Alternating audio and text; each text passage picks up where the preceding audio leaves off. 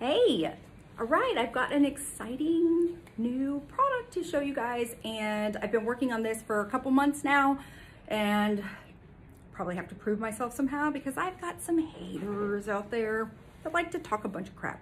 But anyways, that's another subject. Okay, this is Danica. I love Danica, love her color. Um, I think we still have this one and maybe another one up.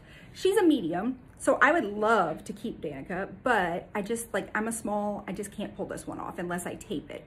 So I love my tape, but sometimes I don't want to have to tape and stuff. Sometimes I just want to like go and run out the door and be done. So I've come up with a solution for that. Now, a lot of you guys, let me see here. Oh, good, there it is. A lot of you guys have probably seen this wig grip here, right? I loved the idea of this. I could not wait to get it. It works fabulous. The only downside to this, in my opinion, was it's not comfortable. Like you're supposed to wear it over a wig cap, but I don't really like to wear a wig cap. But if you just put this one on your skin, it like leaves dents and it's just, it's not comfortable. I can't wear this one all day. Loved the concept of it. I still love the concept of it. I know a lot, a lot of people love this one, okay? So I'm not dogging this at all because this is a great. Wig grip if you aren't as sensitive maybe as my head. Um, the other thing that drove me crazy about that one was that it was clear. And so I am a big lace fan. And so when I'm wearing like my illusion wigs or like this one's full lace, I could see the clear through it. So I was like, hmm, that's another thing. So we have come up with the Hair Mama silicone grip. And I'm about to introduce it to you now. Here she is. Same kind of concept, less silicone on this one. I am playing around with another one that's gonna have more silicone on it so that you kind of have a variation of what degree of silicone you want.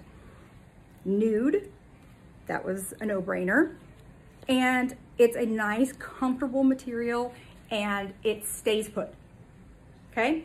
So as you can see, Danica moves around, okay? She's a medium on me. I could never wear this without taping or wearing a regular wig grip. Regular wig grips on me too. The velvet though, I feel like they get hot. So let's try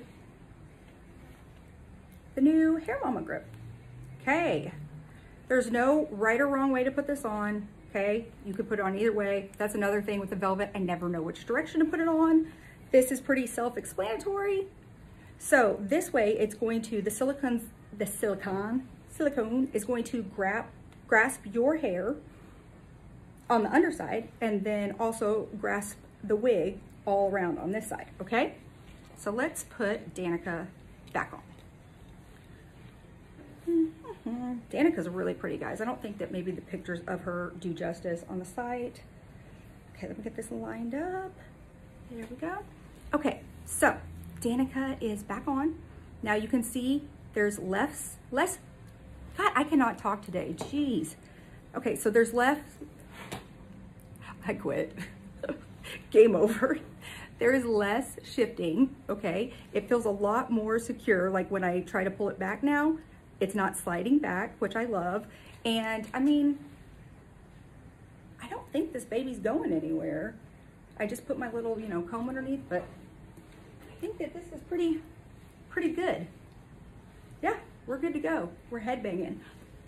Oh, it's this, right? Ooh, dizzy. Okay, so that is pretty awesome. Okay, and you can see, I'm gonna pull this up a little bit more.